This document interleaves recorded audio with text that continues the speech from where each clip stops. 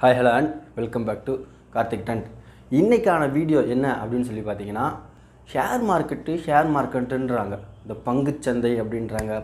So இதெல்லாம் எனக்கு என்ன அப்படின்னு சுத்தமாக தெரில பிளைண்டாக இருக்கேன். ஷேர் மார்க்கெட்டில் இவ்வளோ சம்பாதிக்கலாம் அப்படின்னு சொல்கிறாங்க ஷேர் மார்க்கெட்டில் இவ்வளோ ரிஸ்க் இருக்குது அப்படின்னு சொல்கிறாங்க ஸோ அதெல்லாம் பண்ணுறதுக்கு அவ்வளோ மூளை வேணும் அப்படின்னு சொல்கிறாங்க ஸோ பொதுவாக இந்த ஷேர் மார்க்கெட்னாவே என்ன அங்கே என்ன வேலை நடக்குது எப்படி சம்பாதிக்கிறாங்க எப்படி காசு வருது அப்படிங்கிற ப்ராசஸ் பற்றி தான் நம்ம இன்றைக்கி இந்த வீடியோவில் பார்க்க போகிறோம் அதை தாண்டி ஷேர் மார்க்கெட்டுடைய நுணுக்கங்கள் ஒரு பொருளாதார வல்லுநர்கள் சொல்கிற மாதிரி நுணுக்கங்கள் இந்த இடத்துல இன்வெஸ்ட் பண்ணணும் இந்த பாயிண்ட்டை நோட் பண்ணணும் அப்படிங்கிற எதையுமே இந்த வீடியோவில் நான் சொல்ல போகிறது கிடையாது.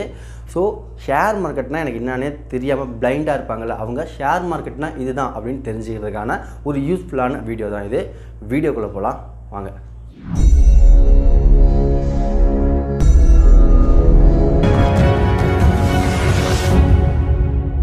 ஸோ ஷேர் மார்க்கெட் அப்படிங்கிறது என்ன அப்படின்னு சொல்லி பார்த்தீங்கன்னா அங்கே என்ன நடக்குது அப்படின்னா ஒன்றுமே நடக்கலை. ஒருத்தர் விற்கிறாரு ஒருத்தர் வாங்குறாரு. இதுதான் நடக்குது. ஸோ நம்ம காய்கறி எப்படி வந்து ஒருத்தர் வாங்குறாரு ஒருத்தர் விற்கிறாரு அது விற்கிறாரு நீங்களாக இருக்கலாம் நானாக இருக்கலாம். ஸோ அந்த மாதிரி தான் இங்கு அந்த வேலை தான் நடக்குது. ஸோ எதை விற்கிறாங்க இப்போ நம்ம காய்கறி அப்படின்னா காய் விற்கிறாங்க உருளைக்கிழங்கு தக்காளி இந்த மாதிரி வாங்குறாங்க விற்கிறாங்க ஸோ இங்கே என்ன நடக்குது ஷேர் மார்க்கெட்டில் அப்படின்னு சொல்லி பார்த்தீங்கன்னா ஒரு கம்பெனி தன்னுடைய மதிப்பை இல்லை தன்னுடைய அந்த கம்பெனியை விரிவுபடுத்தணும் அப்படின்னு யோசிக்கும் பொழுது தன்னுடைய கம்பெனியுடைய ஒரு பகுதியை விற்கிறாங்க ஸோ வந்து மக்கள் எல்லாம் வாங்குங்க இந்த கம்பெனியுடைய ஒரு பகுதியை நாங்கள் விற்கிறோம் அப்படின்னு சொல்லிட்டு விற்கிறாங்க ஸோ இது விற்ற உடனே இது வந்து எல்லாத்துக்கும் மக்கள் எல்லாத்துக்கும் சொந்தமாயிருமா அப்படின்னு சொல்லி கேட்டால் கிடையாது. அது அடமானம் வைக்கிற மாதிரி தான் தன்னுடைய கம்பெனியுடைய ஒரு பகுதியை அடமானம் வச்சு அவருக்கு ஒரு பத்து கோடி ரூபா தேவைப்படுது அப்படின்னா அதை பல பகுதிகளாக பிரித்து ஷேர் மார்க்கெட்டில் விடுவாங்க. ஸோ ஷேர் மார்க்கெட்டில் விடும் பொழுது இதை யார் பண்ணி கொடுப்பாங்க அப்படின்னு சொல்லி பார்த்தீங்கன்னா மெர்சன்ட் பேங்கர்ஸ் அப்படின்னு சொல்லக்கூடிய ஒரு குறிப்பிட்ட நிறுவனம் தான் அந்த கம்பெனி முதலாளிக்கு தேவையான பணத்தை திரட்டி தருவாங்க. மக்கள்கிட்ட இருந்து திரட்டி தருவாங்க. ஸோ அப்படி அந்த குறிப்பிட்ட ஷேரை மக்கள் எல்லோரும் வாங்கும்பொழுது என்ன பண்ணுவாங்கன்னா மக்கள் எல்லாம் அங்கே இன்வெஸ்ட் பண்ணுவாங்க. ஸோ மக்கள் எல்லாம் அங்கே இன்வெஸ்ட் பண்ணும் பொழுது என்னவா மாறும் அப்படின்னு சொல்லி கேட்டிங்கன்னா பப்ளிக் லிமிடெட் கம்பெனி அப்படிங்கிற அப் அப்படிங்கிற மாதிரி மாறிடும். சொல்லப்போனால் மக்கள் எல்லாரும் காசு போட்டு அந்த கம்பெனியுடைய நேமையோ அந்த கம்பெனியுடைய விரிவுபடுத்துறது எல்லாத்தையுமே முன்னேற்றி மக்களுக்கான தேவையும் அங்கே பூர்த்தி பண்ணிக்கிறாங்க. ஸோ இது வந்து பப்ளிக் லிமிடெட் கம்பெனியாகவும் அங்கே செயல்படுது. ஒருத்தர் வாங்குறாரு ஸோ அவர் வாங்கி ஒரு ஷேரை வாங்குறாரு. அந்த ஷேரை வாங்கி எனக்கு இன்னும் ஒரு பத்து ரூபா அதிகமானால் நான் விற்றுருவேன் எனக்கு வந்து லாபம் கிடைக்கும் அப்படிங்கக்குள்ள ஸோ இது எல்லாம் இது ஒருத்தருக்கான இது மட்டுமே கிடையாது நிறைய பேர் அந்த வேலையை பார்க்குறாங்க.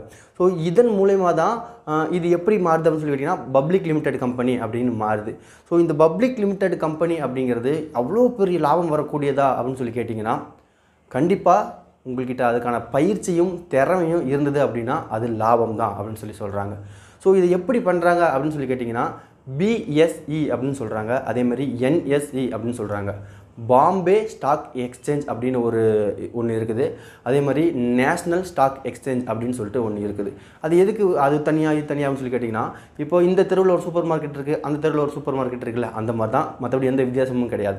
ஸோ இப்படி இருக்கக்கூடியது தான் வந்து இயங்கிட்டு இருக்குது. இப்படி ஒரு கம்பெனியுடைய பங்கை எல்லாரும் போட்டி போட்டுட்டு வாங்கி முண்டி அடிக்கிறாங்க பார்த்தீங்களா அந்த இடம் தான் பங்குச்சந்தை அங்கே தான் சந்தை வியாபாரம் நடைபெறுது.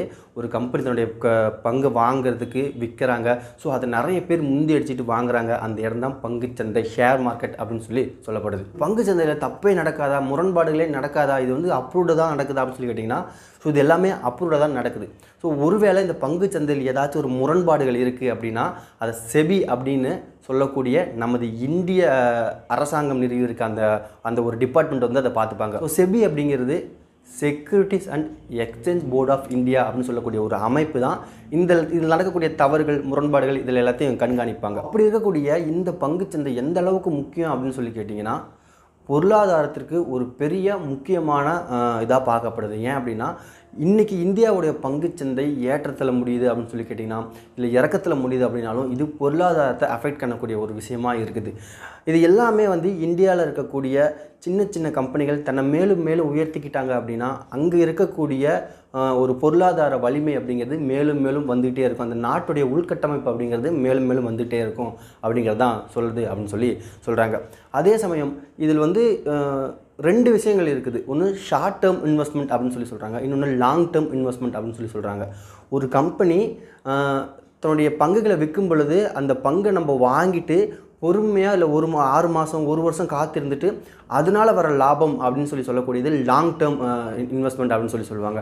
ஷார்ட் டேர்ம் இன்வெஸ்ட்மெண்ட் அப்படிங்கிறது அது ஒரு வாரமோ இல்லை ஒரு நாளைக்குள்ளேயோ பண்ணிடுது. அந்த கம்பெனியோடைய அந்த கம்பெனி தன்னுடைய ஷேரை விற்க போகுது அப்படிங்கும்போது அதை உடனே வாங்கி தங்கள் தனக்கு லாபம் வருது அப்படிங்கும்போது அதை அன்னைக்கே விற்றுருவாங்க ஸோ இது வந்து ஷார்ட் டேர்ம் இன்வெஸ்ட்மெண்ட் அப்படின்னு சொல்லி சொல்கிறாங்க இதில் எதில் வந்து பெனிஃபிட் அதிகமாக இருக்குன்னு சொல்லி பொருளாதார வல்லுநர்கள் சொல்கிறாங்க அப்படின்னு சொல்லி கேட்டிங்கன்னா லாங் டேர்ம் இன்வெஸ்ட்மெண்ட்டில் கொஞ்சம் அதிகமாக இருக்குது அப்படின்னு சொல்லி சொல்கிறாங்க ஷார்ட் ஷார்ட் டேர்ம் இன்வெஸ்ட்மெண்ட்டில் கண்டிப்பாக லாபமும் இருக்கும்.